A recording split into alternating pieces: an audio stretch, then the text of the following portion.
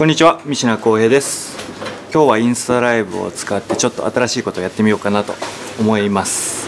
ちょっとセットは同時進行でちゃちゃっとやります。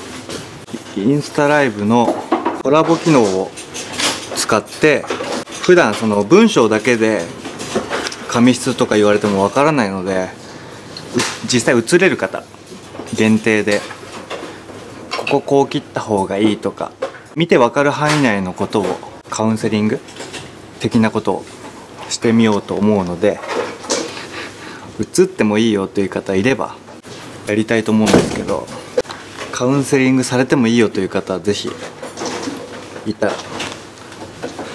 送ってください。こんにちは。こんにちは。あれ見たことある顔だな。髪型どうしたいですか？何に悩んでますか？今ちょっとちょうど伸ばしてて、うんで、ちょっと関西に住んでるんですよ。はい。一度そっちで年末1月31ぐらいに島崎さんに来ていただいて、あれ？力いる？はうん。はい、その時にマシにしてもらったんですよ。はい。で、ちょうどこの辺である癖をちょっと言う、はい、言われて、うん。で、はい。まあちょっとあの大阪の秀井さんの方に行く予定をしてるありがとうございます。んですけど、はいはい、いや一番近いんで、でその時にあのみきおさんいるじゃないですか。うん。あミッキ。ーそのみきおさんのやってるショートマッシュかなあれは。うん。はい。ちょっとちょっと頭軽くて、ここと両サイド買ってて、うん。ちょっとふんわりしてるような感じにしたいんですけど、はいどうしたらいいんですか？それ長さ的にもう。ん。悩んでる感じですね。伸ばし中なんだよね。まあ今伸ばしてる途中ですね。伸ばし中か。重さもね若干足りなかったかなリツさんこれ。そうですね。じゃ見えたかな？あはい結構伸ばさないとダメなんですかね。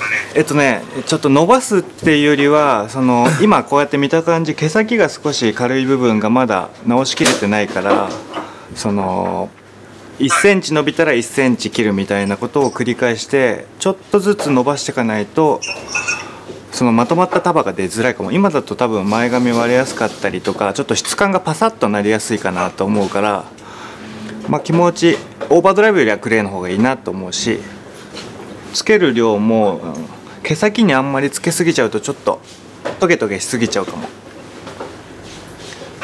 だから少しずつ切って徐々に直してください。また力で。そのまんま言われるっていうところ。うん。そうね。すごいですね。ありがとうございます。はい。コラボ。ありがとうございます。ありがとうございますはい。ありがとうございます。ありがとうございます。こんなこと。いってらっしゃい。ありがとう。あありがとりがとうござい。ます。う。はーい。おもろいね。どうやって切るんだこれ。方が分からなくなっちゃうん俺もわかんないや。ありがとう。ありがとうございます。また力のお客さん来たら呼んじゃうかも。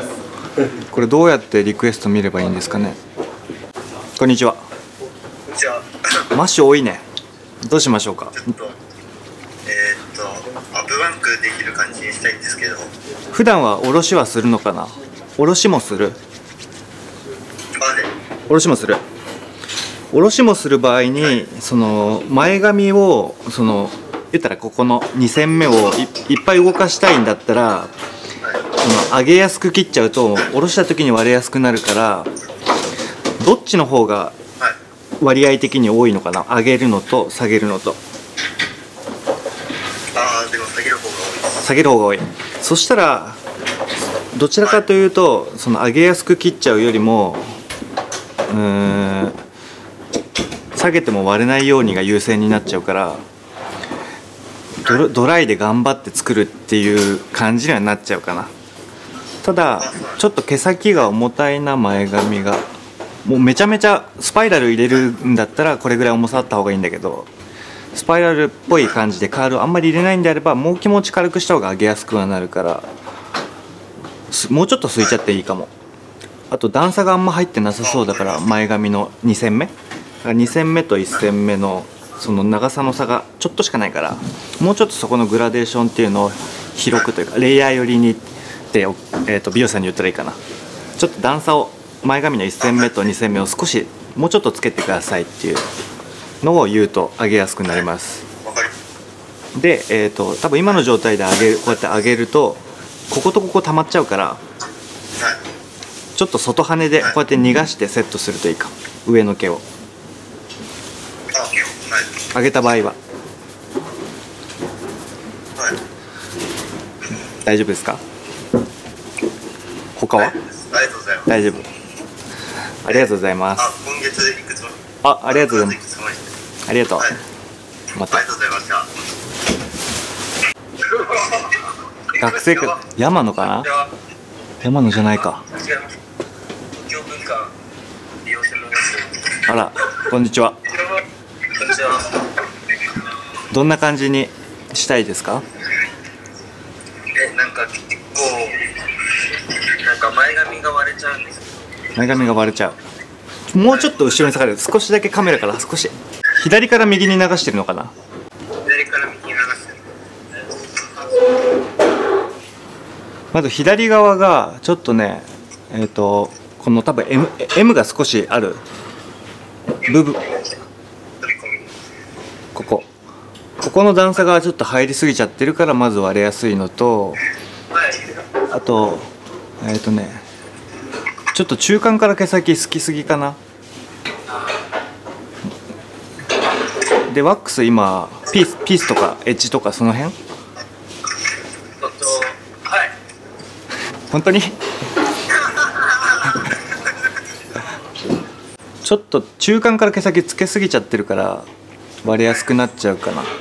もうちょっとここのフロントの段差をなくした方がいいのと毛先軽軽すぎだからちょっと2センチぐらいは切れた方がいいな。じ徐々に。あとこの耳上やりづらくないの？ここですか？溜まっちゃわないの？あそうこっちあそこの段差があんまり入ってなさすぎてグラデーション広いから少しだけ段入れてもらうともうちょっとやりやすいかも。りがとうございます。はい。あとここだ。ここ逆逆か。えっ、と右側逆そっち。そっちの、うん、こっちの鉢の毛が若干だけちょっとグラデーション広すぎちゃうかな。はい。四角くなりやすいと思うから少しだけ5ミリぐらい切るともうちょっとやりやすいかも。はいありがとうございます。はい。では。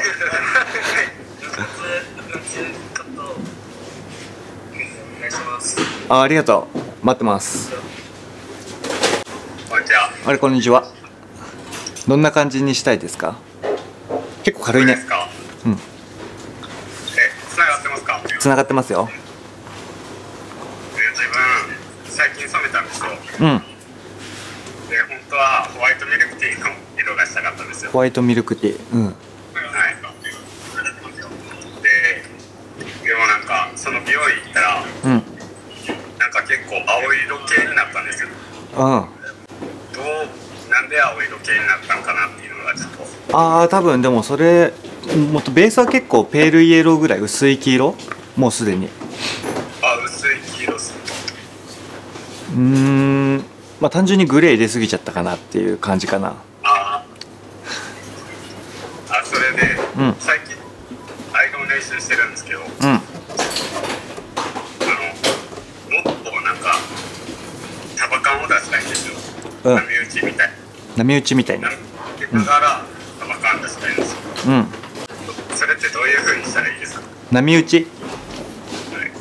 束感出すためにはその根元の立ち上がりとその寝てるところの差をはっきり出すとしっかり出るからもしくはカットでも作れるんだけど立たせたいところを最初に根元だけこうやって持ってこうやってメッシュみたいに先にやってから、えっと、波打ちのアイロンししたらいいかな。そしたらその立ってる寝てる立ってる寝てるっていうのをはっきり。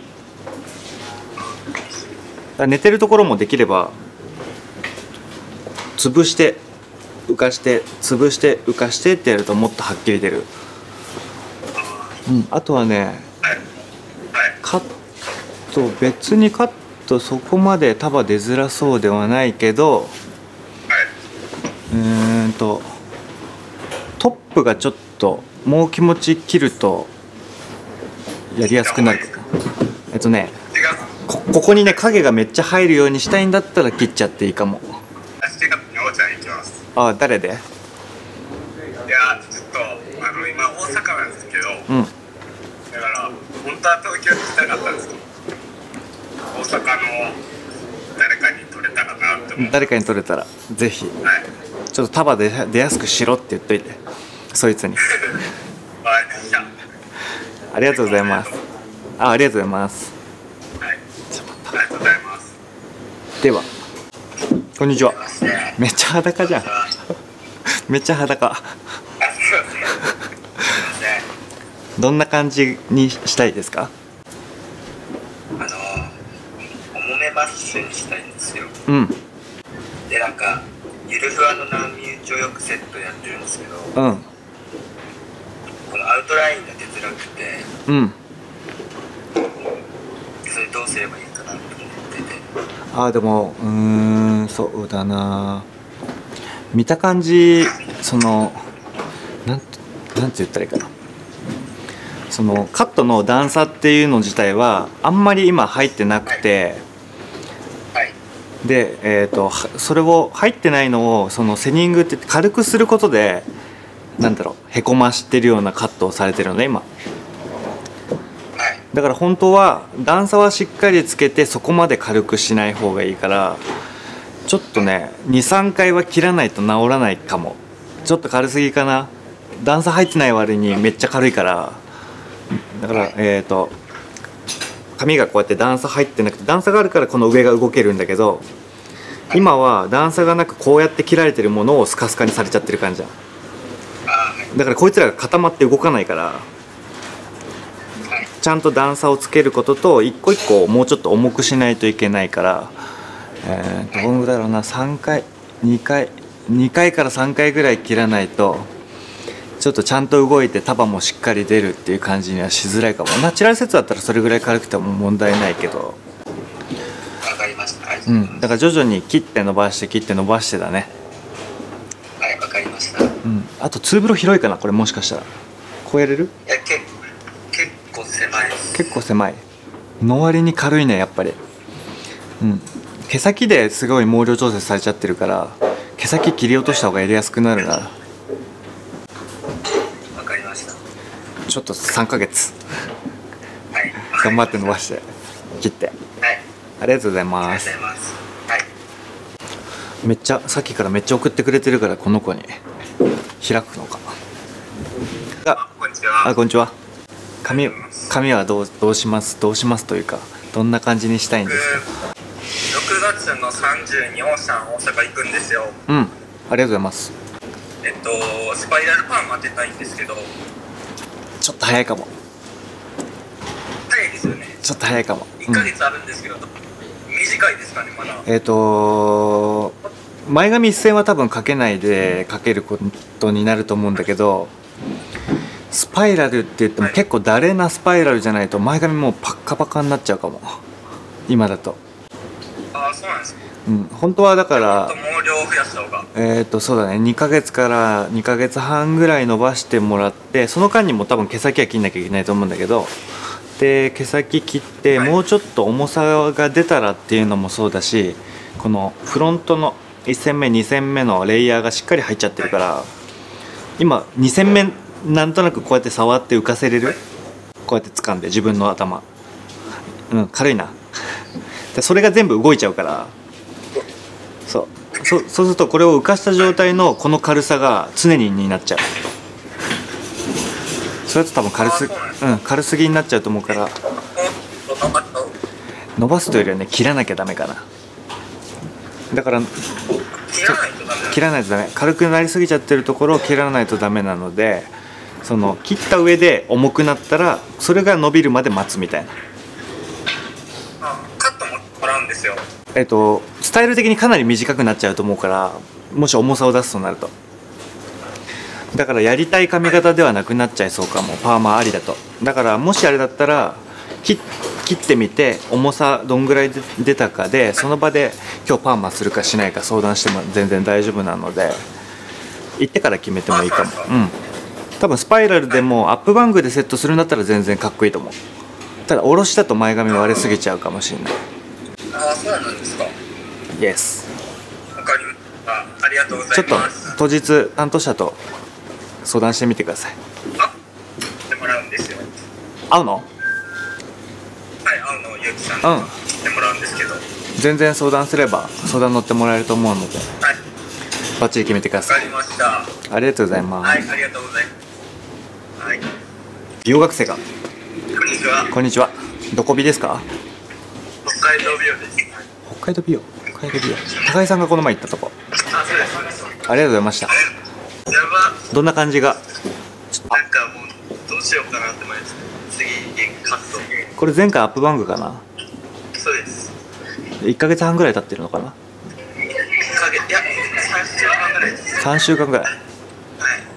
ツーブロの範囲をちょっと見せてもらってもよい？あもうそういうふうにもひちょいちょいモヒカンみたいな感じで行ったのかな？あいや。おろしで。おろしで今後どうしていきたいかにもよるかな？え？短くしたいなっていう。あ短くしたい。そうだね。もう結構いろいろあっちゃうけど真ん中上げるだけなのかこうやってかき上げるなのか。かき上げたいですかき上げたいんだったら長さあってもいいかも。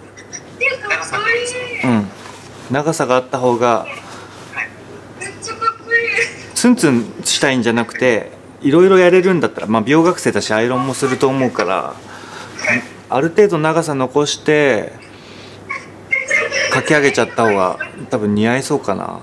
多分しょちょっと少年っぽくなっちゃいそうかも。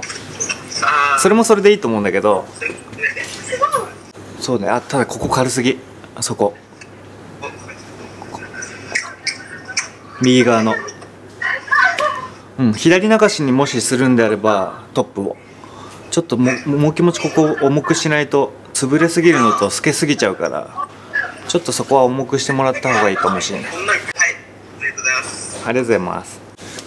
じゃこういう感じでたまにまあちょっと遠くって来れない人も多いみたいなのでまあ実際その文章だけだと全然いいアドバイスができないなと思って始めてみました。また機会があればやります。